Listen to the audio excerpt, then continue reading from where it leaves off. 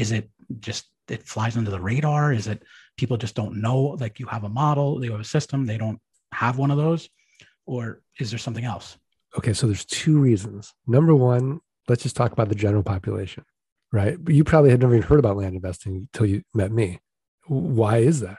Well, if you go on HGTV or the DIY network, you're not going to see flip this land. But the before pictures raw land, the after pictures raw land. It's boring, right? Yeah. Um, if I talk to a financial advisor and saying, oh, I'm looking at buying a piece of raw land, I'm like, why are you buying raw land? It doesn't cash flow. It's negative cash flow. You got to pay property taxes. So your typical land investing strategy is land banking. It, it's a hockey stick model. It's really, really flat. And then all of a sudden development comes and it hockey sticks up. So there's very few people that want to be negative cash flow on a piece of raw land investment. So it's very non-traditional. Now the way that I'm doing it, it's like almost like a business.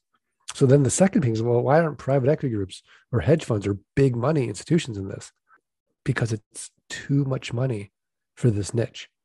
So if my average deal is $2,500 or $3,000, well, you know, if you say, hey, Mark, I'm going to give you a billion dollars, go deploy it.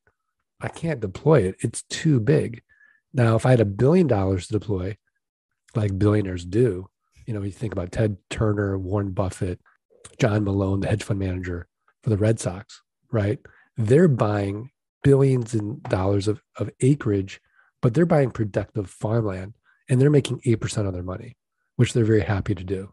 But if you want to make 300 to 1000% doing what I'm doing, having a billion dollars is too much. You can't deploy it.